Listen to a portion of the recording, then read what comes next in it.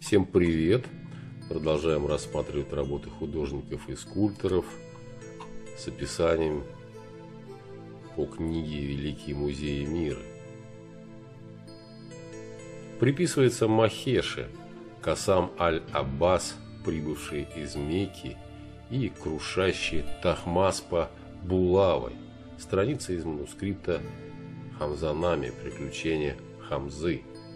Около 1562-1577 годов акварель золотой и серебряный металлический карандаш, хлопок 78 на 64.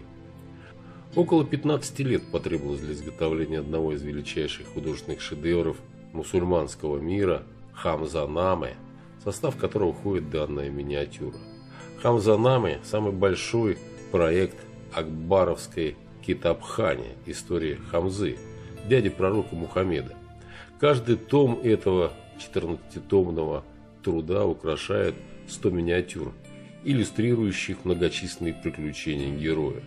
По мнению исследователей, по работе над манускриптом участвовало много художников. Большая часть иллюстраций Хамзанамы со временем была утеряна. Сохранившиеся листы встречаются в разных музеях мира – Рассказ основан на персидской легенде, известной во всем мусульманском мире. На данной иллюстрации зритель видит Касам Аль-Аббаса, сражающегося с Тахмаспом. Различия в их облике указывают, что они представители разных национальностей. Касам на верблюде в соответствующем головном уборе, он араб. Это подтверждается текстом. Герой явился из Мекки, центра мусульманского паломничества – на Аравийском полуострове. Его противник Тахмас Перс. Он на персидском коне, украшенном попоной из самого дорогого национального текстиля.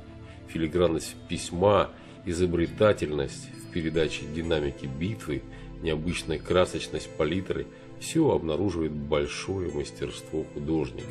Специалисты предположительно идентифицируют его как Махешу – Известно, что автор творил около 1570-1590-х годов.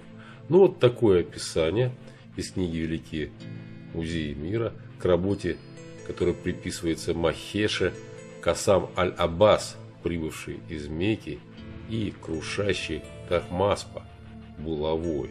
Пока-пока, до свидания, всего хорошего.